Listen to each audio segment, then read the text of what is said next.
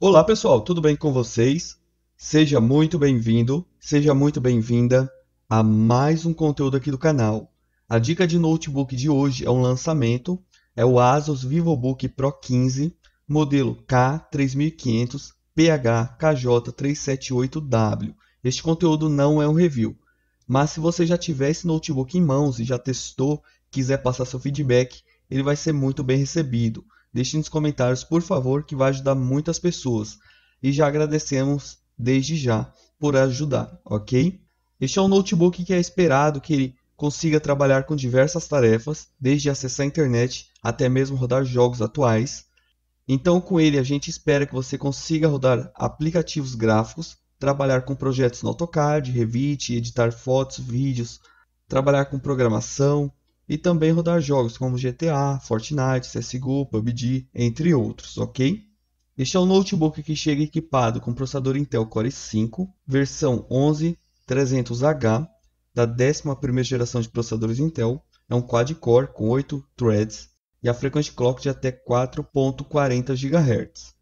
Ele também tem uma placa gráfica integrada, que é a Intel Iris Xe, que é excelente, tá? que tem frequência gráfica dinâmica de até 1.30 GHz que vai ajudar bastante a você trabalhar com diversos projetos gráficos.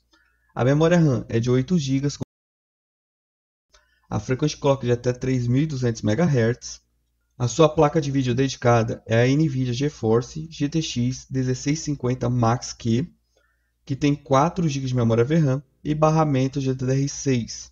É uma placa de vídeo muito boa para você trabalhar e também rodar jogos. O seu SSD é um PCIe com 512 GB. Sistema operacional que está nele é o Windows 11 Home em português, tá? E a sua tela é o Nano Edge de 15.6 polegadas com resolução Full HD, painel IPS e tecnologia antirreflexiva. O teclado é retroiluminado para você conseguir utilizar em ambientes mais escuros, tá?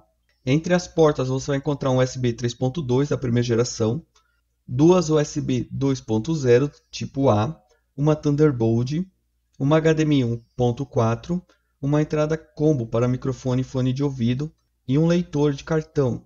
As conexões sem fio dele são o Wi-Fi 6 e o Bluetooth 5.0.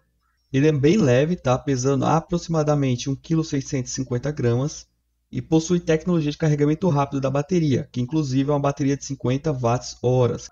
Então é isso, tá pessoal? Finalizamos por aqui. Forte abraço e até a próxima.